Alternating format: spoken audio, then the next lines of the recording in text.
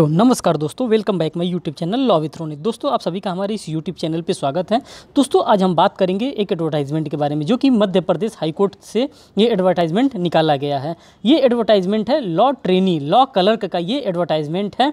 इसी एडवर्टाइजमेंट के बारे में आज हम बात करेंगे। ये एक ऐसा एडवर्टाइजमेंट है, जो कि लॉ क्लर्क के लिए होता है, जो कि कॉन्ट्रेक्चुअल बेस पे एक साल के लिए होता है मीन्स कि वन ईयर के लिए कॉन्ट्रेक्चुअल बेसिस पे हाईकोर्ट में रखा जाता है। और इसमें जो इंपॉर्टेंट चीज़ है, वो आपको एक रेमुनरेशन भी प्रोवाइड किया जाता है। वो रेमुनरेशन ऐसा रेमुनरेशन होता है जो कि बीस हज़ार रुपये पर मंथ आपको इसमें रेमुनरेशन दिया जाएगा। ट्वेंटी थाउज़ेंड पर मंथ आपको रेमुनरेशन यहाँ पे प्रोवाइड किया जाएगा मध्य प्रदेश हाईकोर्ट के द्वारा। ये जो एडवर्टाइजमेंट आया है, ये हाईकोर्ट ऑफ़ मध्य प्रदेश के द्वारा हाई एडवर्टाइजमेंट आया है। ये एडवर्टाइजमेंट आया है लीगल असिस्टेंट के लिए law clerk cum research assistant के लिए आया है। ये जो एडवर्टाइजमेंट है, ये ईयर 2022 और 2023 के लिए एडवर्टाइजमेंट निकाला गया है। जो इंपॉर्टेंट डेट है, वो डेट मैं आपको बताना चाहूँगा इस एडवर्टाइजमेंट का। जो starting date of submission of application form है, वो सात नौ दो हज़ार बाईस से मीन्स सात तारीख से ही एडवर्टाइजमेंट इसका स्टार्ट है। फॉर्म फिलिंग करने का डेट इसका सात तारीख से स्टार्ट है। जो लास्ट डेट है इसका फॉर्म फिलिंग करने का, वो है तेईस नौ दो हज़ार बाईस। अब आप ज़्यादा विलम्ब ना करें, ये वैसे ही वीडियो लेट हमको, मैं बना रहा हूँ। आप इसमें ज़्यादा विलम्ब ना करें, अगर आप इंटरेस्टेड कैंडिडेट हो तो आप इस फॉर्म को जल्दी से जल्दी फिल कर दें। जैसे ही आप फॉर्म फिल कर देते हैं तो इन फ्यूचर आपको डेट आ जाता है जैसे ही डेट आएगा इंटरव्यू का, इसमें कोई रिटर्न एग्जामिनेशन नहीं होगा, ये इंटरव्यू बेस्ड एग्जामिनेशन होता है। और इंटरव्यू में अगर आप सेलेक्ट हो जाते हैं तो आपको मध्य प्रदेश हाई कोर्ट में एज ए कॉन्ट्रेक्चुअल बेस पे साल भर के लिए रखा जाता है और वहाँ पे आपको ट्वेंटी थाउज़ेंड रुपीज़ के रेमोनरेशन के साथ आपको रखा जाता है। और जो हाई कोर्ट के जजेस होते हैं, जो ऑनरेबल जस्टिस होते हैं, उनके साथ आपको काम करने का मौका मिलता है। इसमें रखने का यही फ़ायदा होता है। अब मैं इस एडवर्टाइजमेंट के बारे में मैं आपको बताने वाला हूँ। Online application through the official website of high court of मध्य प्रदेश आप जो ऑनलाइन एप्लीकेशन है, वो फिल कर सकते हैं ऑफिशियल वेबसाइट पे जा करके इलाहा मध्य प्रदेश हाईकोर्ट के ऑफिशियल वेबसाइट पे। देखिए, यहाँ पे वेबसाइट का नाम भी दिया है, जो मैं आपको दिखा देना चाहता हूँ। W W dot M P H C dot G O V dot in पर ही आप जा करके इस फॉर्म को फिल कर सकते हैं। और इस फॉर्म को फिल करने में बहुत ज़्यादा दिक्कत नहीं आएगी। अगर कोई भी दिक्कत आती है तो आप हमसे कॉल करके बात कर सकते हैं। इसमें कॉन्टैक्ट नंबर दिया है। अब terms and nature of engagement के बारे में बताया गया कि क्या टर्म्स एंड कंडीशन होगा इस फॉर्म को फिल करने के लिए। जो भी टर्म एंड कंडीशन होगा, वो मैं इसमें आपको बताना।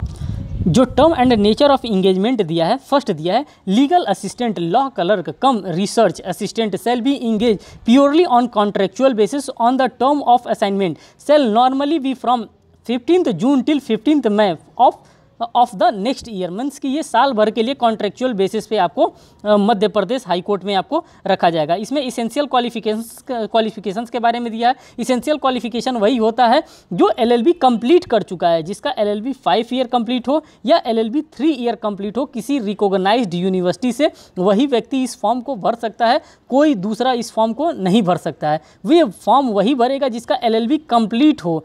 कब तक कंप्लीट होना चाहिए? जिस दिन आपका इंटरव्यू होने वाला है इंटरव्यू से पहले आपका एलएलबी कंप्लीट हो, वही व्यक्ति इस फॉर्म को फिल कर सकता है। अगर जिसका एलएलबी चल रहा है, वो इस फॉर्म को नहीं फिल कर सकता है।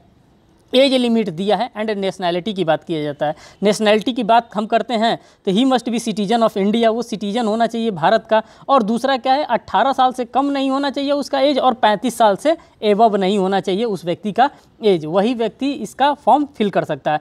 डिस्कालिफिकेशंस के ग्राउंड दिए गए हैं। अगर आप एल एल नहीं हो, अगर आप पैंतीस साल से ऊपर हो तो आपको क्या किया जाएगा? वहाँ पे डिस्कालीफाई कर दिया जाएगा। अगर आप किसी क्रिमिनल केस में फंसे हो या किसी एडवोकेट के साथ आप पहले से ही इंगेज हो तो आपको वहाँ पे डिस्कालीफाई किया जा सकता है। तो आप इन सभी एडवर्टाइजमेंट को मध्य प्रदेश हाई कोर्ट से निकाल करके आप पढ़ सकते हैं। कैरेक्टर के बारे में पूछ रहे हैं कैरेक्टर सर्टिफिकेट आपका चाहिए। वर्किंग आवर्स क्या होगा? जो वर्किंग आवर्स नॉर्मली वही होता है जब से हाई कोर्ट खुलता है, जब तक हाई कोर्ट नहीं बंद होता, तब तक आपको वहाँ पे उनके साथ जजेस के साथ काम करना है। ड्यूटीज़ एंड रिस्पॉन्सिबिलिटीज़ के बारे में बताया गया पॉइंट नंबर सेवन में।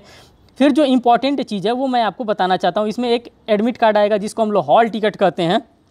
जब आप फॉर्म को फिल कर देंगे तो आपका हॉल टिकट आएगा, वही हॉल टिकट आपको दिखा के आपका इंटरव्यू लिया जाएगा मध्य प्रदेश हाईकोर्ट के द्वारा। उसके बाद से जो सलेक्शन का प्रोसेस है, वो हाईकोर्ट बताएगा कि किस प्रकार से सलेक्शन आपका करेंगे। The interview shall be from hundred marks and a candidate has to secure minimum 50% mark in interview to be finally selected to subject to merit and number of seats.